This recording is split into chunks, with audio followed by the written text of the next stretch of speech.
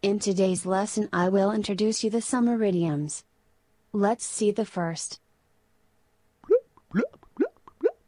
Like watching grass grow.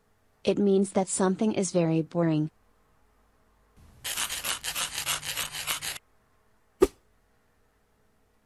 It's been raining all week and there's nothing to do. This summer is like watching grass grow. A fair weathered friend. Fair weather is another way of saying good weather, but a fair weathered friend is someone who is your friend when things are good, but if difficulties start, then your friend is not there to help you.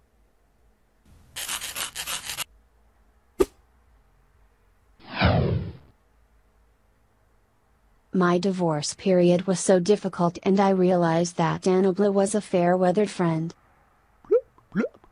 Travel on a shoestring. Travel on a shoestring means to travel very cheaply. The goal is to spend as little money as possible.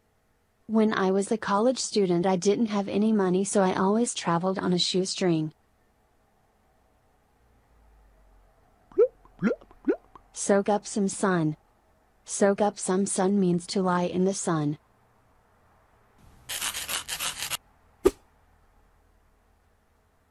I can't wait to get away and soak up some sun on T Beach on next weekend. Social butterfly.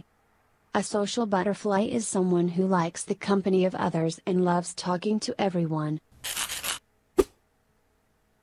Jermaine is such a social butterfly. He's out every night and knows everyone in the city. Full of hot air. This expression can be used when someone says something that seems impossible, unbelievable, or have nothing to say that makes sense.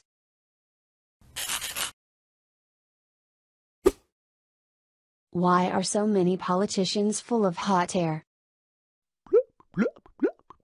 Like a fish out of water. This expression can be used when someone feels uncomfortable in a situation.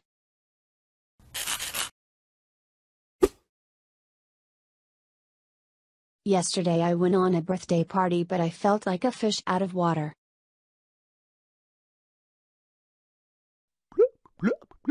Dog days. The dog days of summer are the hottest days of the summer.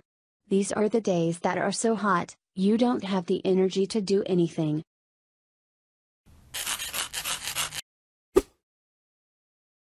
I wish I could go home early today. During the dog days of summer it's too hot to work. Summer fling. A summer fling is a short romance during the summer period. This relationship is not serious.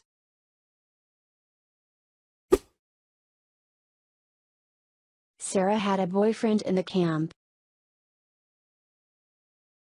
She had her first summer fling with a boy. Indian summer. This idiom refers to an unusually warm and summer period that occurs in the middle of autumn. The Indian summer arrived late but it was surprisingly long.